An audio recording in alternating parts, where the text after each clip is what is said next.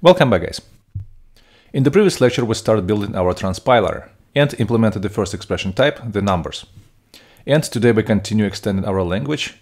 Uh, we'll implement strings and also blocks. Right, the blocks are group of expressions and also as we will see in JavaScript, blocks contain statements, right? Not expressions but the statements. And the difference is the statement doesn't return a value. Uh, the statements will be separated with semicolon and this is just the JavaScript notation. Uh, but let's start from the strings. So here's our assignment from the previous lecture. We use double quotes, right, the string hello. And the same way, let's have the tester is string, in which case we should return the string between quotation, right? We strip the quotes, slice 1 and negative 1. Sounds good. And let's the tester itself. We test for the type of string and also check for the quotes.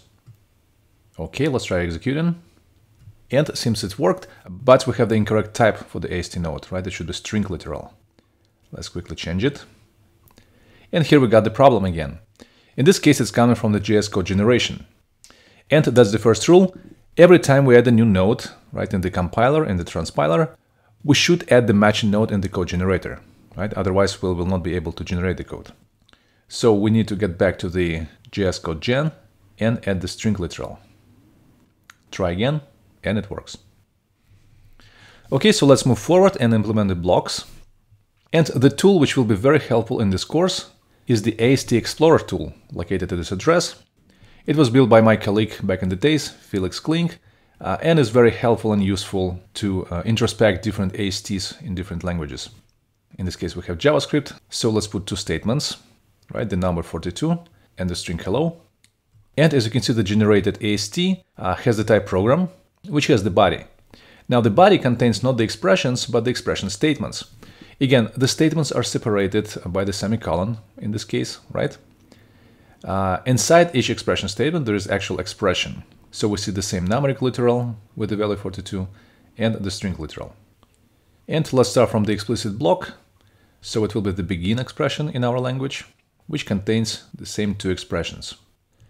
Okay, so if this is the begin expression, right? We extract the tag and all the expressions which come after the tag. Then we go through each expression and call the gen function, right? Plain simple. Now, what should we return as the result for the block? Right, let's put the block in JavaScript, uh, and that should be block statement, which has the body, right? We see the two expression statements moved to the body of the block. So that's exactly what we write.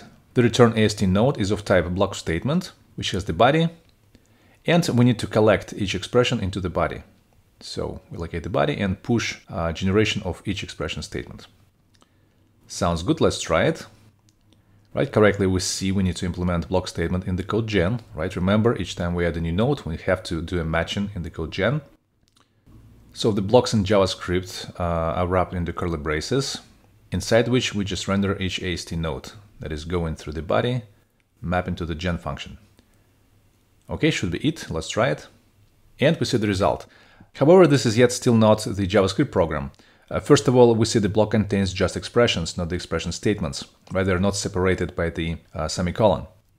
Uh, second, we have the bug. Hello string should be actually in the quotes. We'll fix it shortly. Uh, but first of all, let's join each expression statement with a new line and also fix the string, adding quotes. Let's try it. Okay, looks better. Now we have the string and also new line separated. Now we need to add semicolons, that is to wrap each expression into the expression statement. Uh, for this, let's introduce the function to statement, right, which is helper function. It will just wrap into expression statement if the expression is used in the block context. Right, if the same expression is used in other context, for example, when it's passed as the function parameter, we don't need to wrap it into expression statement, but uh, inside blocks we should wrap it. And for now we handle just two expressions, numeric literal and the string literal, and wrap it into expression statement. Otherwise, just return the expression, meaning that's already a statement. For example, a block, if statement, etc. Let's try it. Okay, we added new node type, expression statement. We need to implement the code gen, which should just render the expression property of the expression statement and put semicolon at the end. All right, should be it. Let's try it. And there we go. Take a look, we have the correct AST node, expression statement, inside which we have the expressions. Uh, now looks better, however, let's implement also the pretty printing, right? We'll put correct indentation, uh, new lines, etc. Right, so let's have the constructor in our JS code gen uh, and accept the indentation.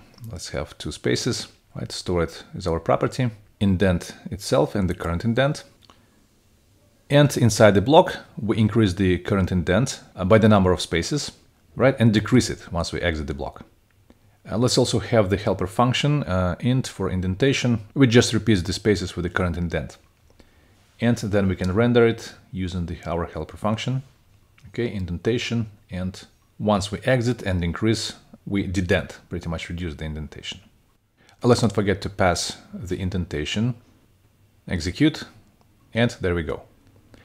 We have nicely written code, so expression statement with expression 42 and the expression statement with expression hello. Both are inside block, both are separated with a semicolon. However, this is still not yet the full JavaScript program.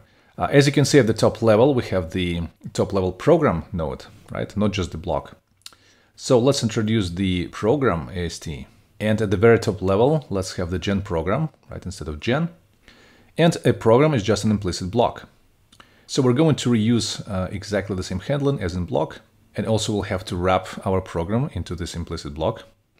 The same way we go through each expression, and just instead of the uh, block statement, we return the program type, also having the body.